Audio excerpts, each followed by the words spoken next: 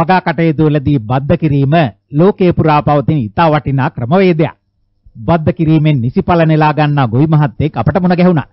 ඔහු කුලියපිටිය අනුක්කනේ නිහල් රණසිංහ මහත්තයා.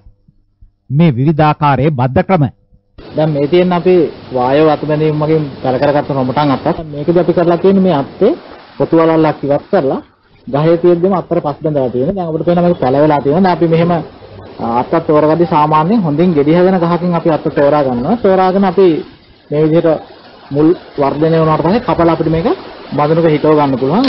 එහෙම හිටව ගත්තාම සාමාන්‍යයෙන් මවුසාකේ ඊළඟ අවස්ථාවේ පළදරද්දී අපි මේ හිටව ගන්න අත්තේ පළදරීම සිද්ධ වෙනවා. ඒ තියෙන අපි වෙරළු ගහකට පස් බඳලා පැල කරගත්තු අත්තක්. දැන් මේකෙත් තියෙන වැදගත්ම දේ තමයි වෙරළු ගහක් දැන් අපි බිම හැදුවොත් එහෙම පොල්ලල්ලි ගානාවක් කවර වෙනවා මේ වෙරළු ගහට. නමුත් අපිට සමානයෙන් දැන් මේක අපිට බඳුනක හදා ගන්න පුළුවන්. يعني පෝච්චියක හරි එහෙම නැත්නම් අපිට බැරල් එකක හරි අපිට මේක හදා ගන්න පුළුවන්. එතකොට මේ ගහේ වර්ධනය සාමාන්‍යයෙන් අපිට අවස්ථාකාරක තමයි සිද්ධ වෙන්නේ. මහා ලොකු ගහක් හැදෙන්නේ නැහැ. දැන් මේ විදිහට මුල්ලක් දර පස්සේ අපිට පුළුවන් මෙන්න මේ ස්ථානයේ අත්ත කපලා ඉවත් කරගෙන මේක අපිට බඳුනක සිටව ගන්න පුළුවන්. බඳුනක සිටව ගත්තා පස්සේ සාමාන්‍ය අපි සති දෙකක් විතර වගේ තද හිරු එළිය වැටෙන්නේ නැති තැනක අපි තියන්න ඕන. තියලා ඊට පස්සේ අපිට පුළුවන් කෙලින්ම අවුවට මේ පැලය යොමු කරන්න. අපි කෙලින්ම ගහේ තියෙද්දි පස් බඳලා පැල කරගත්තු පැණි කාමරම් ගත්තා. දැන් අපිට මේ විදිහට මේ මේ මට්ටමට මුල් ලැද්දාට පස්සේ අපිට පුළුවන් කියත් පටියක් හරි එහෙම නැත්නම් සිකටරියක් හරි ආධාරයෙන් මේක ගහෙන් වෙන් කරගන්න. මෙවැනි ක්‍රමවේද පිළිබඳ දන්න අය වගේම නොදන්න අයත් ඉන්න පුළුවන්නේ. කෘෂිකර්ම විෂයට අදාළව පාසල් ගෙවත්තේදීත් ගන්නනවා. දරුවන්ට තමන්ගේ ගෙවත්තේදී උනත් කරලා බලන්න පුළුවන්. මේ බඳුන අපි හොඳින් සිදුරු කරලා අරගෙන අඩියටම සාමාන්‍යයෙන් කැට ගල් තට්ටුවක් දාලා ඊට පස්සේ අපි කාබනික පොහොර හා මතු පිටපත් කලවම් කරලා එකතු කරගත්තු පස් මිශ්‍රණයකින් මේ බඳුන පුරව ගන්න බඳුනේ සාමාන්‍යයෙන් භාගයක් විතර වගේ. පුරවගෙන අපි කෙලින්ම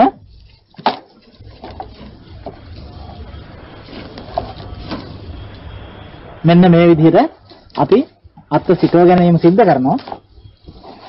හොදත්තක් ඒ වගේ ගහට පස් වෙන්දලා දැන් මේක මේ නිල් පාට බැරල් එක අපි හදාගෙන තියෙන්නේ. මේකේ තියෙන විශේෂම දේ තමයි අපි සාමාන්‍යයෙන් පළ දරන ගහකින් තමයි අත්ත ගන්න ඕනේ. ලබා ගත්තාම මෙන්න මේ විදිහට හොඳින් දිගටම මේ සාමාන්‍යයෙන් වරන්නේම නැතුව මල් පිපීම සිද්ධ වෙනවා. නිහල් රණසිංහ මහත්තයා බද්ධ ක්‍රම වලට අමතරව වසවිස නැති කාබනික ගොවිතැනෙන් නිසිඵල නෙලා ගන්නවා ගොවි මහත්තයෙක්. අතුබද්ධ කරලා හදාගත්ත පැල. බලමු අඹ ගහ කොහොමද කියලා. වෙන්නේ අපි හිතමු අපේ ගෙදර තියෙන මේ අඹ ගහ වල් අඹ ගහක් කියලා. එතකොට අපිට පුළුවන් මේ අඹ ගහට මේ වැඩුණු ගහට අතු වර්ග කීපයක් බද්ධ කරනවා. දැන් මම මේකේ බද්ධ කරලා තියෙනවා අතු වර්ග දැන් මෙතන තියෙනවා කරත්ත කොළඹන් එක.